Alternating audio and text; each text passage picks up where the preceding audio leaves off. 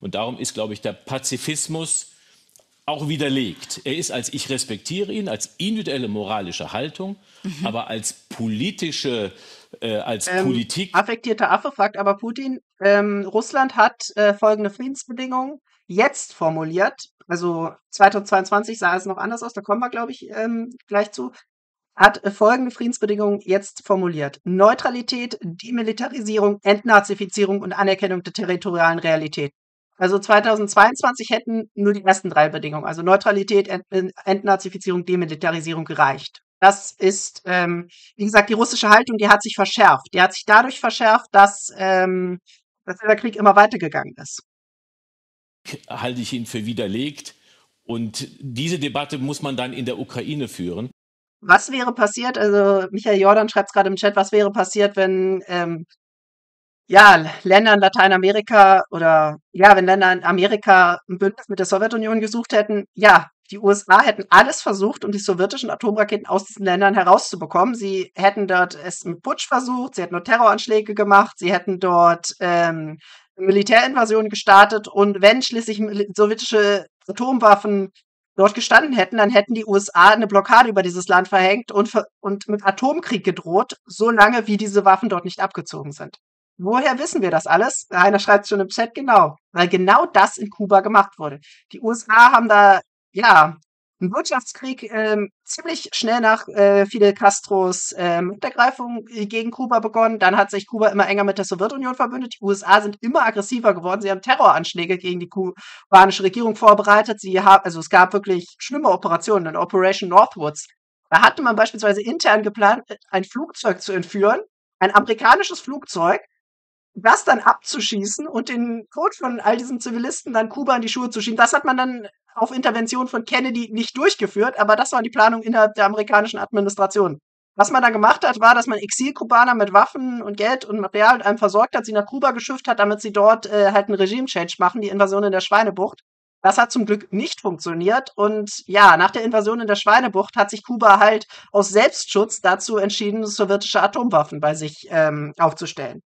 Und ähm, ja, das hat dann eben zur Kuba-Krise geführt. Die USA haben dann über Kuba eine Blockade verhängt und gesagt, also wirklich, sind mit ihrer Marine dahin gefahren und haben gesagt, so entweder die Sowjetunion zieht jetzt ab oder wir greifen Kuba an. Und die Sowjetunion hätte dann ihrerseits die USA angegriffen. Also dann hätten wir den Dritten Weltkrieg gehabt. Das war das Verhalten der USA als ein Land in ihrer unmittelbaren Nähe in den sowjetischen Machtbereich übergetreten ist. Und ich glaube, keiner hat das Recht, wenn, wenn Krankenhäuser und Kinderkliniken bombardiert werden, wenn ein Land überfallen wird, dieses Land nicht zu verteidigen. Also so ziemlich, was der Westen in Afghanistan gemacht hat, so klingt das gerade. Wenn äh, Krankenhäuser bombardiert werden, wie beispielsweise 2005 das Ärzte ohne, äh, 2015 das Ärzte ohne Grenzen Krankenhaus in Kabul von den USA. Also ja, das, was der Westen quasi auch andauernd macht. Als Bürger und auch als Nachbar diesem Land nicht beizustehen. Die Frage ist natürlich nur, wie wir unser Verhältnis zu den Russen jetzt gerade auch in dieser Richtung bestimmen. Herr Lafontaine, also ähm, wir haben ja gerade vorher den ukrainischen Präsidenten gehört und er hat den Deutschen vorgeworfen, dass wir in der Vergangenheit Fehler gemacht haben in Bezug auf Russland. Die kamen natürlich auch aus dieser Haltung und ich muss Ihnen den Ältestenrat der Linken ähm, vorstellen. Äh, die Linke haben Sie zwar gerade verlassen, aber es gibt doch noch wahrscheinlich eine inhaltliche innere Verbindung. Hans Modo hat gesagt, gesagt, die Frage, wie weit der Krieg in der Ukraine nun ein Einmarsch russischer Truppen ist oder sich als ein innerer Bürgerkrieg der Kräfte in den neuen Oststaaten und faschistischen Elementen im Westen der Ukraine darstellt, steht in Raum. Äh, das ist ein unkluges Zitat nach, äh, nach der russischen Full-Scale-Invasion. Also Russland hat da ganz klar die Ukraine angegriffen und Russland hat da auch nicht nur in den ukrainischen Bürgerkrieg an, eingegriffen, der seit 2014 tobt und der von der ukrainischen Regierung begonnen wurde. Die Ukraine hat zuerst Gewalt gegen die Separatisten angewendet. Das sollte man ganz klar sagen. Dann am 20. April 2014 nämlich ähm, rechtsradikale Milizionäre einen Checkpoint der Donbass-Miliz überfallen. Dadurch hat dieser Krieg begonnen. Und äh, dann wurden auch furchtbare Massaker an äh, Zivilisten angerichtet von der ukrainischen Regierung und mit ihr verbündeten Milizen. Und Russland hat dann erst im Sommer 2014 angegriffen. Na, 2022 ist, glaube ich, relativ klar, Russland hat dann die Ukraine angegriffen. Deswegen ist so eine und auf äh, ja faschistische Elemente innerhalb der Ukraine zu verweisen, ist inhaltlich nicht falsch, aber es tut jetzt nichts zur Sache. Also auch ein Faschist, also auch ein Staat, wo ähm, Faschisten in den obersten Rängen der Politik sitzen, auch der hat ein Recht darauf, nicht angegriffen zu werden. Auch der hat ein Recht auf territoriale Integrität. Muss man so sehr die Russen lieben, dass man das so verdrehen kann?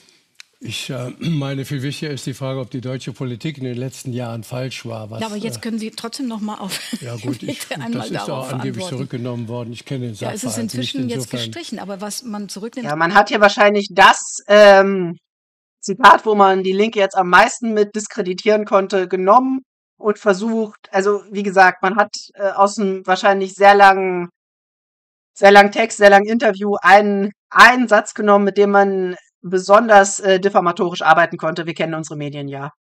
Das hat man ja trotzdem mal gesagt. Ja, ich wollte ja nur sagen, ich kenne den Sachverhalt nicht. Aber ja. eine viel wichtigere Frage ist jetzt ja, ob die Deutschen. Äh, da möchte ich doch noch mal kurz einhaken. Das ist die perfekte Antwort. Wenn man auf irgendwelche ähm, Aussagen von mit einem verbündeten Politikern angesprochen wird, einfach sagen, ich kenne die Aussagen nicht. Also ich kann dazu nichts sagen. Oder sie reißen das bestimmt gerade aus dem Kontext, was ja sehr häufig tatsächlich der Fall ist. Also gar nicht auf diese Aussagen eingehen, sondern sagen, Sie müssten mir schon den ganzen Kontext zeigen. Politik in den letzten Jahren. Alles andere wäre auch strategisch unklug. Also sonst müsste man sich ja von Leuten aus den eigenen Reihen distanzieren und so gibt man dem Gegner Macht über sich. Das ist strategisch absolut unklug. Falsch war, was Herr Zelensky sagt, das muss ich ganz entschieden zurückweisen. Mhm. Es, man kann nicht nur aus seiner speziellen Sicht irgendetwas vortragen. Die deutsche Ostenentspannungspolitik hat uns sehr viel weitergebracht. Und ich bin nach wie vor überzeugt, dass wir ohne sie die deutsche Einheit niemals erreicht hätten. Und das zeigt ja auch die Kurzsichtigkeit der heutigen Politik. Alles redet jetzt über Putin. Es gab auch Gorbatschow. Erinnert sich noch jemand ja, an Ja gut, wir müssen jetzt aber ja, über ja, Putin reden. Ja, ja, nein, nein, das ist ja wahr? ganz wichtig. Es kann ja sein, dass morgen ein neuer Gorbatschow in Russland äh, an die Macht kommt. Dann haben wir also dann alles gekappt, alle Verbindungen gehabt. Welch ein Unsinn. Mhm. Politik muss langfristig angelegt sein. Darüber, darüber, dafür werbe ich. Und letztendlich ist es so, man kann nur eben durch Verhandeln, durch Begegnung mit Menschen mhm. die Welt friedlicher machen und man muss mit den gleichen Maßstäben. Also Sie sagen, die deutsche Politik hat nicht alles falsch gemacht in der Vergangenheit? Natürlich. Aber ich möchte noch mal klar sagen, die deutsche Politik war viel zu aggressiv gegenüber Russland. Das beginnt schon bei den Minsk-Abkommen 2014, als man Russland über den Tisch gezogen hat, die eigentlich nur dazu gedacht waren, die Ukraine noch weiter aufzurüsten und ins, ja, in den westlichen Block zu integrieren, die gar nicht dazu gedacht waren, waren zu einem dauerhaften Frieden mit Russland zu kommen.